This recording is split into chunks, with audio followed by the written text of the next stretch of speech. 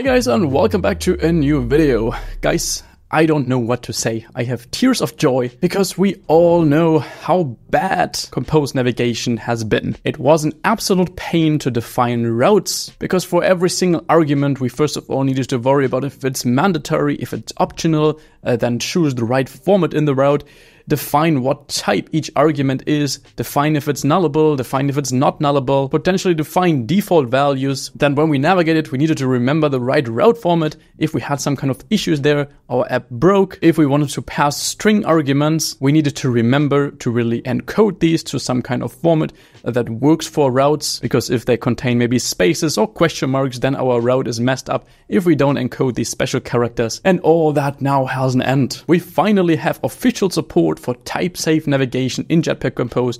We don't have any more routes. We have type safe arguments without any specific navigation library other than the official one. And you won't believe how easy it will be to set this up. Let's take a look at how this works. I am in an empty Jetpack Compose Android Studio project, and the first thing we want to add is the dependencies for that. Let's open Gradle scripts, go inside of our version catalog, scroll down to our libraries block, and paste these two dependencies, which you can of course find in my GitHub repository as usual. So we have navigation compose on the one hand, and we have Kotlin X serialization JSON, which is what the new navigation compose dependency uses under the hood in order to serialize arguments in a type safe manner. We then also need to specify the versions for these two dependencies. We can do this here below our versions block, which is on the one hand compose navigation. Make sure to use the 2.8.0 alpha 8 one because that introduced this new type safe support and Kotlin X serialization as well. Hit sync now, and then after that, we can add this to our build.gradle file. And no, actually not yet, because I forgot to apply the Gradle plugin for Kotlin X serialization. Let's also add this version right here, sync this. Again, you can also, of course, copy paste this from my repo, go to build.gradle app, apply our serialization plugin with alias libs plugins kotlin serialization. There we go. Scroll down and apply our two other dependencies, implementation, libs, navigation, compose, and we have implementation with a libs, Kotlin X, serialization dot JSON. Oops. Like this. Hit sync now, and then we're ready to implement our nav host. Inside, uh, let's just get rid of the scaffold. Inside this theme, let's first of all have a nav controller reference that's nothing new. That's still what, oops, that's still what we need in order to navigate from screen to screen. We also need to define a nav host where we assign this nav controller reference here. We need to define a start destination. We don't want to define a graph, but a start destination. And if we take a look here, then we have one more overload. You can see we have a start destination of type any, we have a start destination of type string, but we also have a start destination of type KClass, so some kind of Kotlin class. And here our route is also a Kotlin class.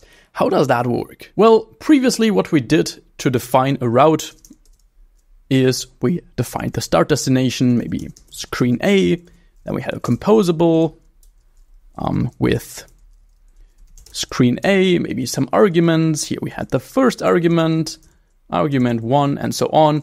And for each argument, we also needed to define a list of arguments with a list of nav argument, define the name of the argument, define the type, define if it's nullable, define the default value, and so on. That was such a pain because that was not only so much boilerplate code, but it was also very error prone boilerplate code. And that has an end. Let's take a look at how, at how this works. So what we now do for every single screen is, let's get, out, get rid of this greeting here. Every single screen, we will now define something like this. Screen A, we annotate this with serializable, and that's it. We can now take this, assign this as a start destination screen A, have a composable where we say it's of type screen A, and then we can have some kind of box maybe. Let's have a centered text here, full max size. Um, well, let's actually make this a column where we say, okay, vertical arrangement is arrangement center. Horizontal alignment is center horizontally. And in here, we will then have a button to go to the next screen. We say text, not text field, just text. Go to screen B. So far, so good. So we defined our start destination, but why did we really make this an object? Why did we annotate this with a serializable? And why is all that so new? The cool stuff starts when we start to add a second screen, because our routes from now on won't be strings anymore. Internally, yes, but not for us. No, they will be Kotlin objects. And if we want to have a screen B, and we maybe want to pass two arguments to it, one optional one and one mandatory one, then what we can do is we can define that as a data class, screen B, which corresponds to the route of screen B, where we say we have maybe a name argument which we pass, which is optional, just as an example, and we have an age, which is a mandatory integer argument. We again annotate this with serializable, and this is now our route for screen B. If we now go ahead and we add this here, we have our screen B, and we maybe have another column which centers the text here we want to say, okay, mm, name and age years old. Those are the arguments we now want to pass from screen one, screen A, to screen B.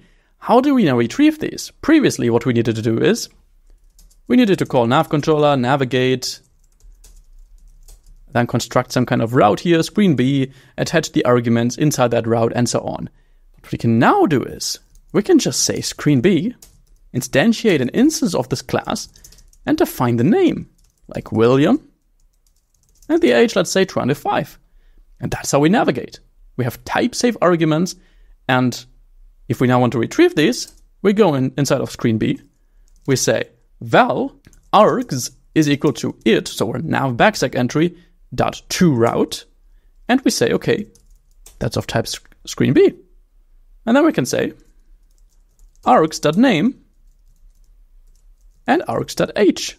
And if we launch this, then it will work.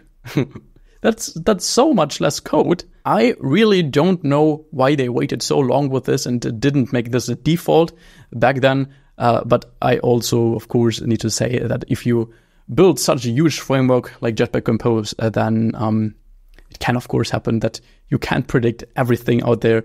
Um, so this is totally understandable. On the other side, on the other side, let's take a look. Go to screen B there we go. William, 25 years old. If we want to use an optional argument for the name, we can just pass null. Relaunch this. Go to screen B. And then we don't have the name argument there. We just print null. Isn't that cool? Isn't that so much easier? It's of course still in an early stage. It's still an alpha version of this library.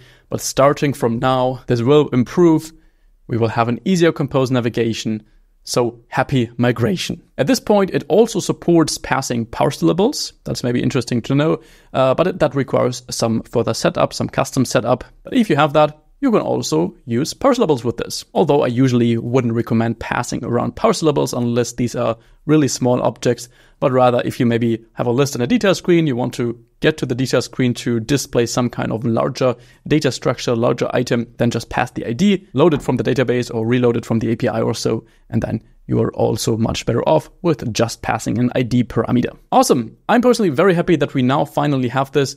I think Compose and KMP and the whole ecosystem is on a very good way. All those current changes are really cool. Like we have just gotten a Jetpack view model for Kotlin multi-platform. We now have type-safe navigation arguments. We have navigation compose for Kotlin multi-platform. We have room for Kotlin multi-platform. So a lot of cool things are currently happening to the Android ecosystem, which I very much welcome. And I hope you do too. What I would also welcome very much is you in my 10 week mentorship program. So if you want to work together with me very closely, if you want code reviews, if you want individual feedback on your coding style, then apply to my 10 week program. If based on what you write, you could fit well into the program, we will just hop into a completely non binding call, talk about the details. You can ask me any questions about the program. And if that sounds good, then we make it fix in the call. So apply if that sounds good to you. And other than that, thanks so much for watching. See you back in the next video. Have an amazing rest of your week. Bye bye.